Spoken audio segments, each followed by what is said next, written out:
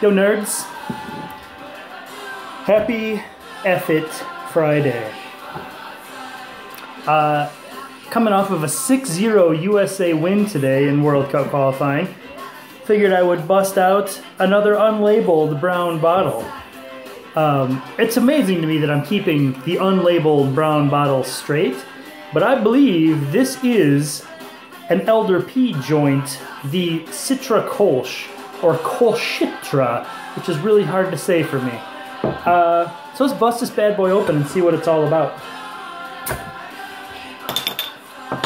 Elder had sent me one of these. Oh, hello. Uh, eh, I don't know, a while ago, and for some reason the bottle came dead flat. Um, so I said, It's a rad beer, but it's flat. What are you doing to me? Thinking I was just gonna give him shit. Being the stand up guy he is, he went above and beyond, dropped another bottle to me, um, because, let's be honest, Elder's like the greatest guy ever. So, we're gonna cut her off right there, and and let you revel in the the oh shit beauty of this beer. Um, it looks freaking amazing, Elder. Seriously. It also smells freaking amazing. Oh wow, the citra is really the citra is really good, but you still get that kolschiness. It's almost like a, it's not sulfur, but it's got that like that kolschiness. Um, which if you've had a few kolsches, they have this weird like, not exactly a lager character, not exactly an ale character. They have their own like, their own deal. So, to uh, to Elder, cheers, nerds.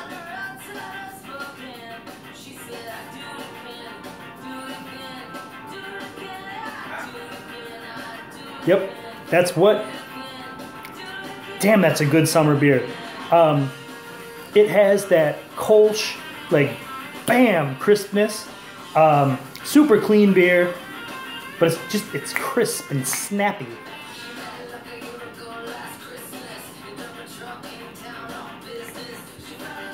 It's my new favorite band, The Interrupters.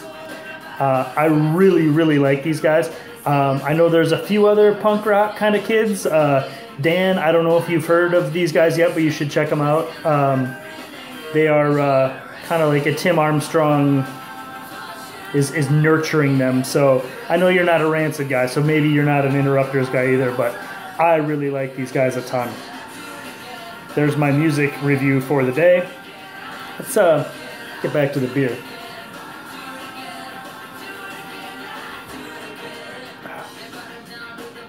It's awesome. It's so crisp, but it's still got. It's a nice hot flavor. The bitterness is like dead on where you would want it for this beer. Um, Brad, you you you freaking killed this beer, dude.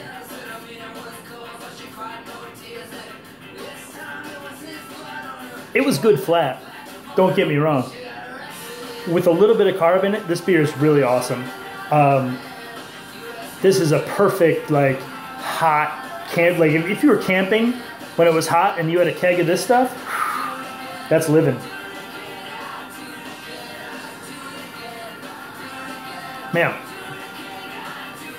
I would say if if you don't know who Elder P is, check him out. But if you don't know who Elder P is, just hit the off button. Go go read a book. Go crochet something. This whole brew tube thing's probably not for you. Man. Elder, killed it. Love this beer, man.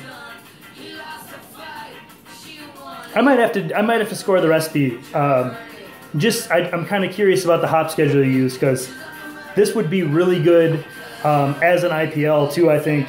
Um, it's. I feel like it's a recipe that could kind of morph into a lot of different things really easily.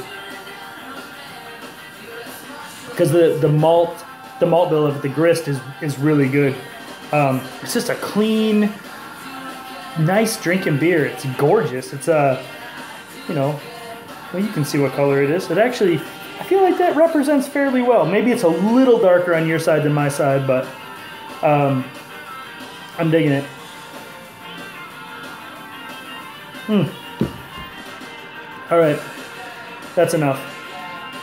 Enjoy the music. The Interrupters. Go check them out. Man, Elder P, knocking it out of the park. Yandu, my brother. Yandu nerds.